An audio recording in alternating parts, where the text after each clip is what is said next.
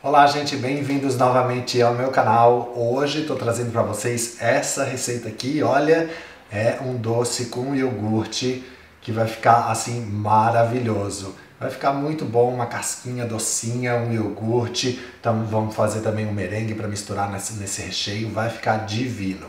E se você é novo aqui no canal, por favor não se esqueça de se inscrever aqui embaixo para receber receitas novas todas as semanas. E é isso aí galera, vamos lá, vamos começar essa receita de hoje.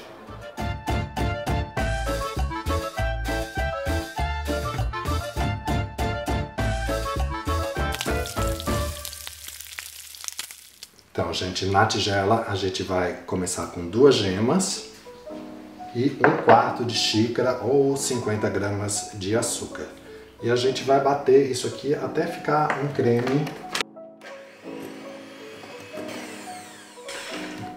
Aqui foi super rápido.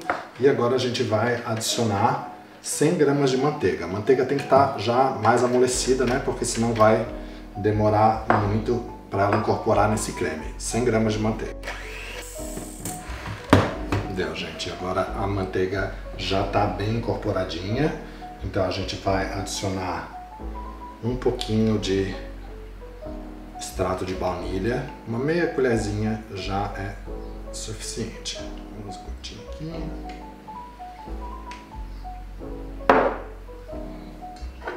Vamos também adicionar a raspa de limão. Lembrando, né, como eu já expliquei para vocês antes, com a raspa do limão, você quer pegar só a casca mesmo, tentar evitar o branco para não ficar amargo, né? Raspa de limão e também a gente vai adicionar daí uma pitada de sal. Deixa eu pegar bem aqui que eu gosto mais com meu com mel com gostinho de limão. As minhas receitas que eu faço se vai limão, então eu quero que pegue bem o gosto do limão. E, como eu falei, né, uma pitada, uma pitada de sal. E, novamente, bate só um pouquinho só para combinar. Gente, aqui eu tenho 150 gramas de farinha, farinha normal mesmo, e vou adicionar mais ou menos meia colher de chá de fermento para bolo. Só dá uma misturadinha, né, só para misturar com a farinha e daí a gente já pode transferir aqui para aquele nosso creme que a gente bateu. E agora a gente só incorpora tudo, sem mistério nenhum.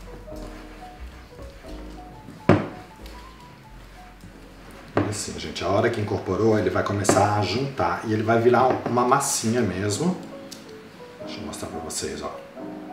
Tá uma massinha, não tá igual como uma massa de bolo, né? Ele tá mais durinha do que uma massa de bolo, mas vocês podem ver que ela fica juntinha, né? Então a gente vai fazer o que? A gente vai pegar, raspar essa colher aqui, já tá tudo bem incorporado, vocês podem ver aqui, ó, né? Só dar uma amassadinha mais com a mão, só para ter certeza que incorporou tudo.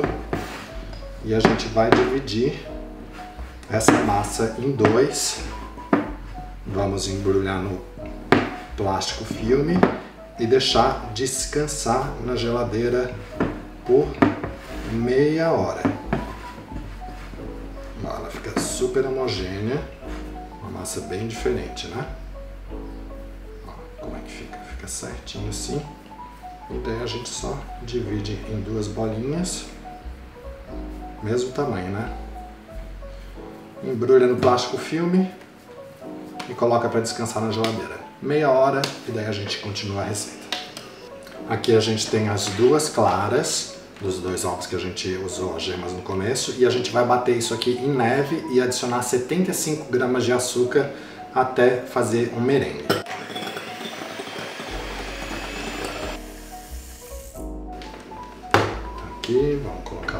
Açúcar. 75 gramas é igual a um terço de xícara. E é isso que a gente precisa. Agora vamos bater novamente.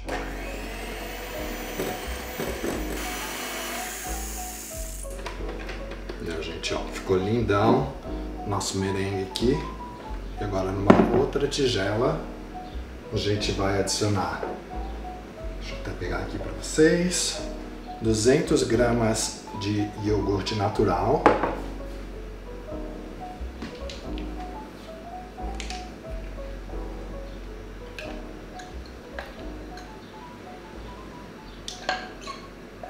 Hum, sobremesa que iogurte é sempre gostoso, hein? E também a gente vai adicionar 200 gramas daquele famoso buttermilk que eu estou tentando empurrar para vocês de qualquer maneira, né, gente? Ou soro de coalho, como eu falei. E como sempre, vou colocar ali embaixo na descrição né, a alternativa que vocês podem usar para esse buttermilk. Tá aqui, bem gostoso. Dá uma misturadinha. Nós vamos adicionar também pouquinho da baunilha, meia colherzinha, tá ótimo. E vamos adicionar 4 colheres de sopa de semolina, ou sêmola, né? Que é aquela farinha mais refinada. Duas, três, quatro. Isso aí. Agora combina todo isso aqui. E agora a gente pode incorporar o nosso merengue. Olha, tá? Ficou luxuoso isso aqui, hein? Tá com uma cara ótima. O cheiro disso aqui já tá assim, me enlouquecendo. Ah, esse doce aqui é muito bom. E só incorpora, né, gente? Não precisa bater muito, né? Pra deixar um pouquinho mais aerado. Isso aí, ó. Deu. E agora a gente reserva e agora vamos montar, né? Então, gente, aqui ó, nossa massa já descansou por meia hora. A gente vai pegar então metade dessa massa e a gente vai abrir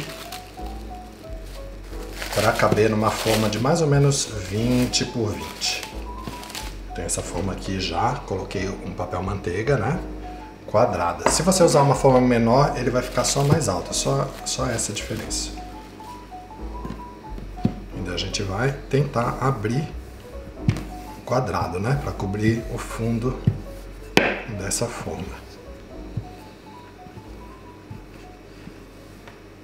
Você pode também com a mão, porque a massa é bem molinha. Na verdade, eu acho que é mais fácil ir com a mão mesmo.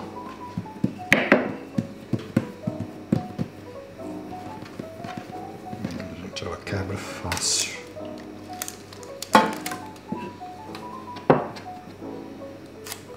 Vamos colocar aqui no fundo da forma. Tentei abrir no rolo, mas não tá dando, porque ela é muito molinha, né? É, talvez uma forminha menorzinha teria sido certa. Né? A receita, na verdade, pede uma forma de 20 por 20, essa daqui é, essa aqui é 22 por 22.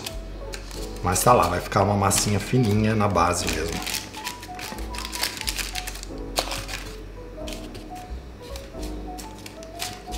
saia fácil depois, hein? Sair ela vai ter que sair porque ela tá bem engordurada.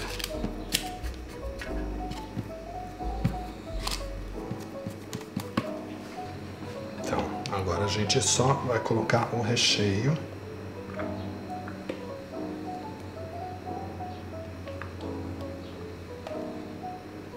Só espalha para ficar uniforme.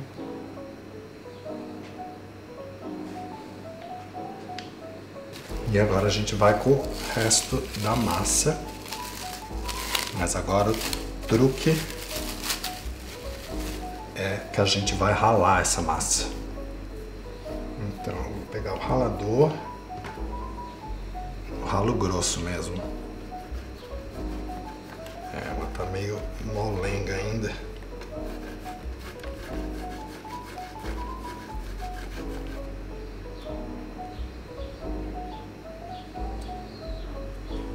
Vou levar para assar agora no forno pré-aquecido, 180 graus por 30 minutos.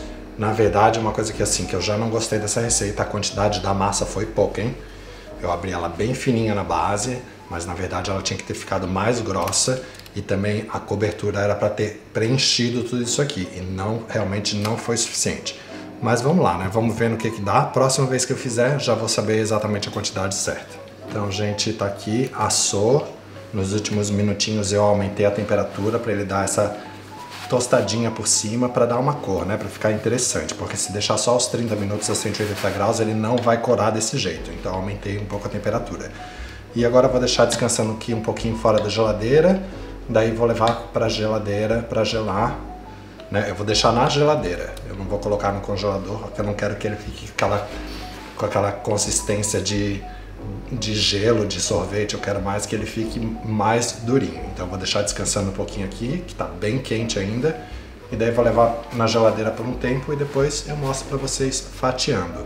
Não ficou terrível como achei que iria ficar, né? Mas vocês podem ver que até que deu uma cobriu aqui bem no final. Então tá ótimo. Vamos ver, né?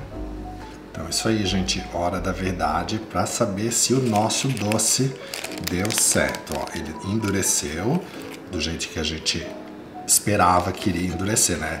Não tava com muita confiança, não. Agora a gente tira da forma. Opa! Saiu da forma, fácil. Ó.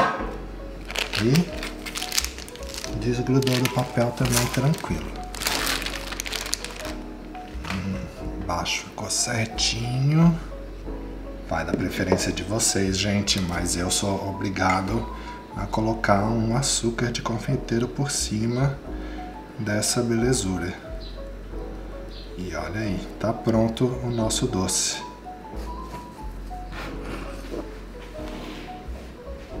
Olha isso. Que coisa linda, hein?